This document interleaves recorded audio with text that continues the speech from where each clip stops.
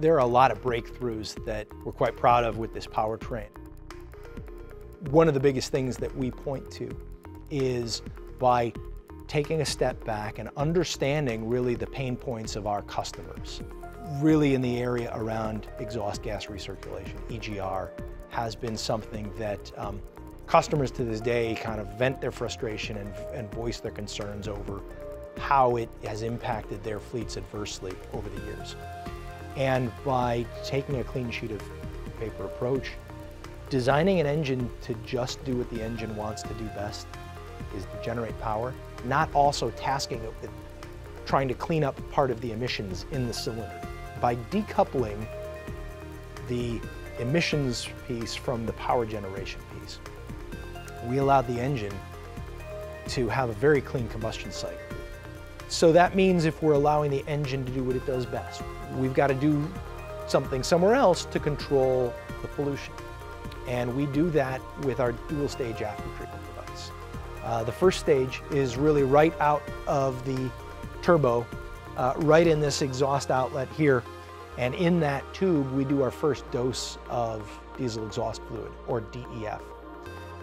As it flows through the after treatment device, there is a second stage of dosing that takes place, hence the dual stage after treatment system.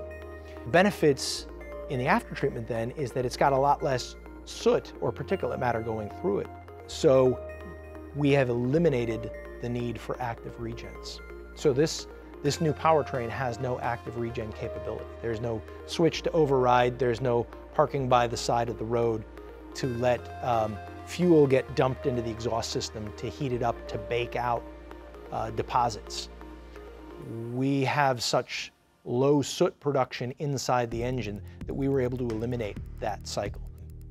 This also allows us, by not having 18 to 20% of your exhaust gas recirculated through an EGR system, we're effectively putting 100% of the flow of the exhaust into the turbo. So that allows us to have a single fixed geometry, very large turbo. This is the work of a lot of engineers doing some amazing work.